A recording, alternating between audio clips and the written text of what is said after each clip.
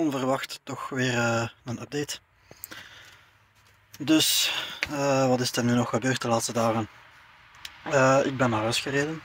Ik ben van in Oostenrijk in, in, op één dag terug naar huis gekomen. Ik wil zo mogelijk alles kunnen regelen in verband met paspoort en, en bankkaarten en rijbewijs, al wat hij. Um, dus ja. Dan, dat was woensdag, dus donderdag gisteren, ben ik dan uh, gaan kijken voor uh, alles. Uh, bij de bank heb ik direct een tijdelijke kaart gekregen, zodat ik op zijn minst wel geld kon afhalen. En toen bedacht ik mij ook van, ik heb eigenlijk wel een reispas. Ik heb een internationaal rijbewijs dat zijn perfect uh, legale en geldige documenten. Dus daarmee kan ik eigenlijk perfect verder.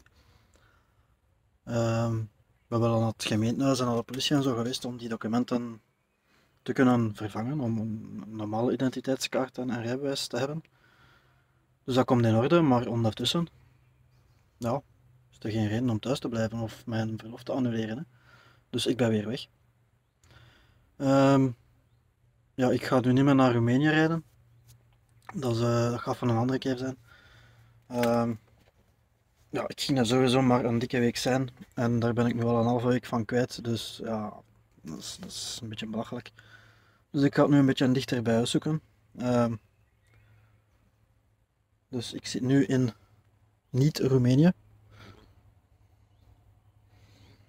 Het volgende filmpje ga ik wel een beetje uh, meer beelden tonen. Nu is het gewoon even een snel een update.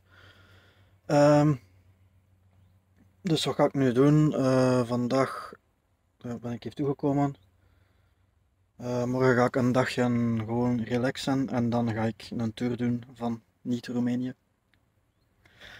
Ehm, ja. We zien wel. ik heb in principe nog ruim anderhalve week over van mijn verlof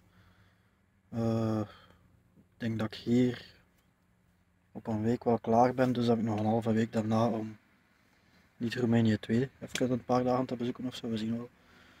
Uh, I'll keep you posted.